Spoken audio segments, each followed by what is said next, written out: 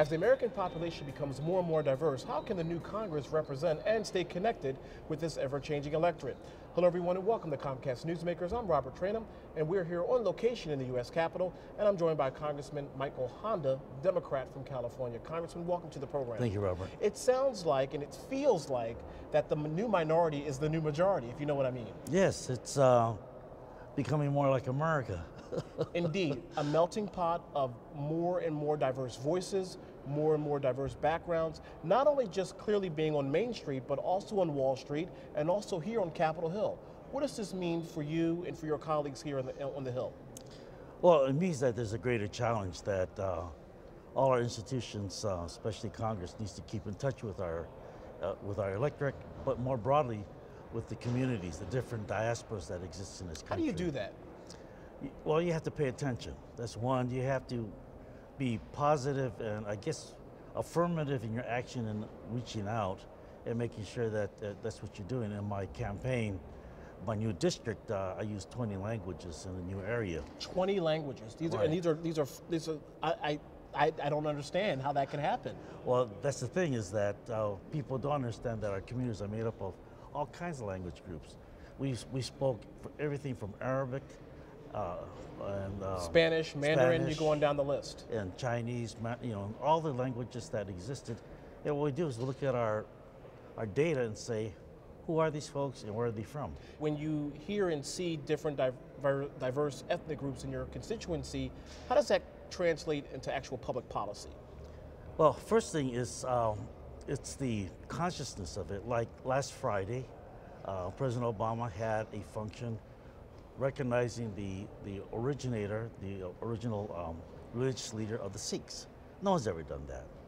And so to the entire Sikh community and other Indo-American communities, it means that he's paying attention and he wants to pay respect. That converts into um, respect also and then also support. And so I think those kinds of attentions that we pay to our communities pays off in the long run. Would you encourage, Congressman, uh, the various constituency groups out there to come to Washington, D.C. to make sure that not only their voices are heard, but they're actually at the decision table when policy is being debated? That's important. Um, I came here in 2001.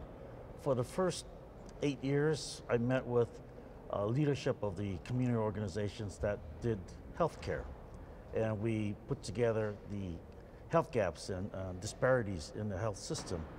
When, um, when Obama came to office, we were ready with information, and that was quickly uh, incorporated into the affordable health care. So in other words, I hear you saying, sir, you pretty much did the, did the president's homework. You did all the legwork in the beginning so that when he came to the White House, you pretty much just handed him the blueprint, if you will.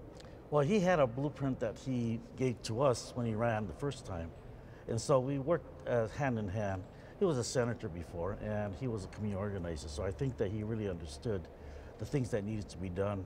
So I think that there was an, an expectation on his part that we, uh, we produce these kinds of information for him. Was 2012 a fluke in the electoral system where we saw this high watermark of electoral uh, minority voices at the table, or do you think that this is the new normal?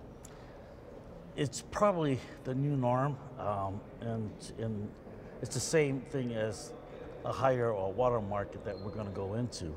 And how we continue that is to not lose touch, keep in touch, and continuously to spread that uh, information out to the other communities. We have all kinds of diasporas in this country that we haven't even touched, even Asian Americans. 51% of them have not been touched by either party. All right, Congressman Mike Honda, the Democrat from California, thank you very much for joining us. Pleasure. And of course, thank you for joining us for this edition of Comcast Newsmakers. I'm Robert Traynham. Have a great day, everybody. We'll see you next time. Take care.